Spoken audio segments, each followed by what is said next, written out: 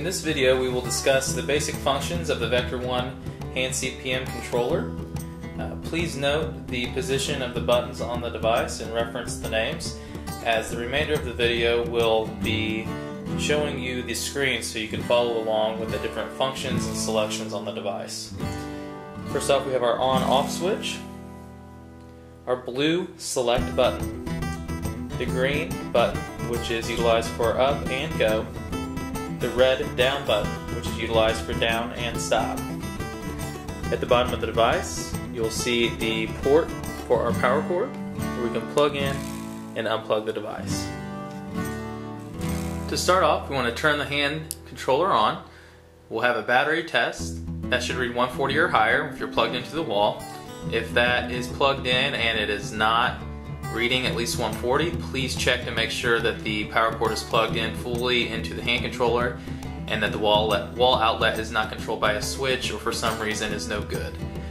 The first screen that you're going to come to is digit flexion. The maximum value on digit flexion is 340 and that's how the device will actually be sent to you.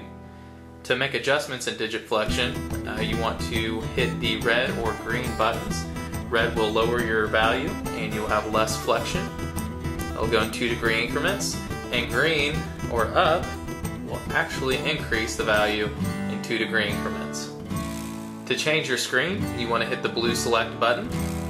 The next screen will be digit extension. And when you think of digit, ex digit extension, think of 0 degrees as being straight. If we go beyond 0 degrees, we're actually going into hyperextension. The device will actually go to minus 21 degrees of hyperextension, so we actually have 21 degrees of hyperextension. Um, and if you want to have a less extension, you actually want this number to be larger.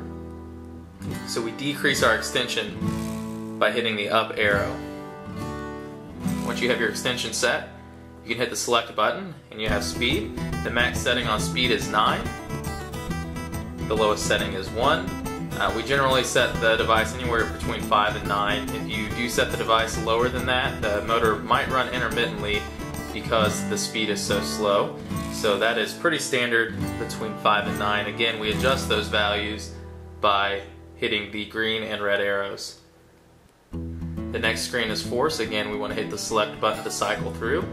Uh, anywhere from 10% to 90%. If you're a standard setup, you're generally going to just set this at 90 and we want to set our flexion and extension parameters appropriately so the device does not reverse.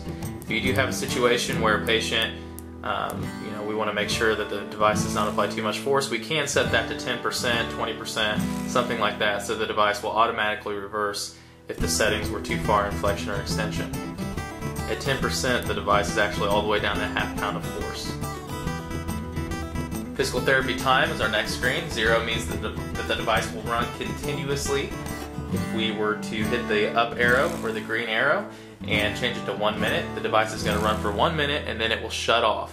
So uh, if you have a situation where uh, we want to run the device for let's say 30 minutes to an hour and then we want the patient to get out and to do some active exercises, we can set the device for 30 minutes.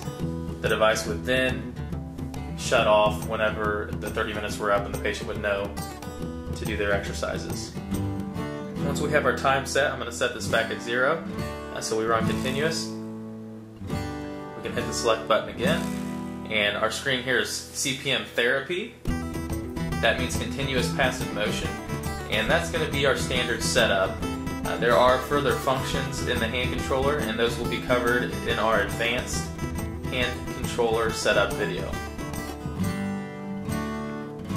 So we're going to leave that on therapy and then we're going to hit the select button to our next screen. This is CPM pause mask.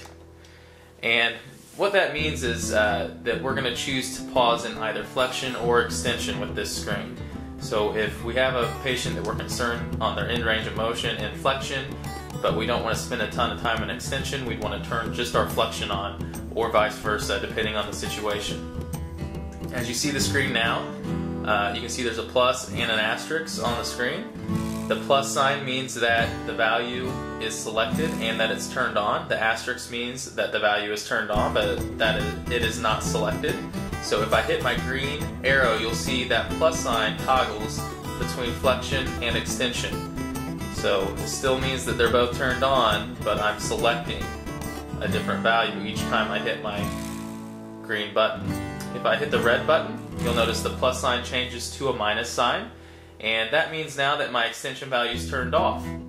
So uh, my flexion is turned on, extension is turned off. I'm going to hit my green arrow. You'll see now my flexion is selected and turned on. If I hit red, it's actually going to turn that off. So now uh, my pause is turned off in both flexion and extension. And if I hit my red button again, I turn flexion on. I hit my green button to select extension. Now I'm going to hit my red button, and they're both turned on again. If I hit select, next screen is my CPM pause. Uh, generally, uh, post-operatively, we're going to not set this up for more than 3 to 5 seconds, but uh, if needed, this can pause for over 4 minutes. So you just want to hit the green arrow to increase the amount of time that we pause. Remember in the previous screen we selected whether we wanted to pause in flexion or extension or both. I hit the select button, my next screen is my serial number screen. You'll notice there are a line of numbers on top and a line of numbers on the bottom. The top number is actually my serial number. The bottom number is a hidden compliance meter in the device. So if you have a patient that you're worried about compliance, you can easily take the device and write this number down, follow up with the patient and ask them to read you the serial number, and every hour they wear the device, your bottom number will go up one. So if they wear the device two hours, our device would then read 540 at the bottom. If I hit the select button one more time, I'm now at the start screen.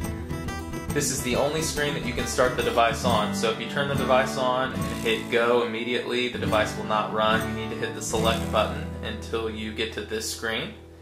We then hit go, and you'll notice the device begins to run.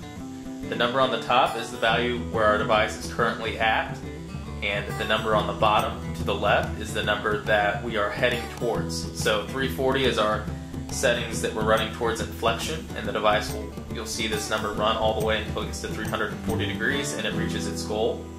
You'll see the percentage sign is our force.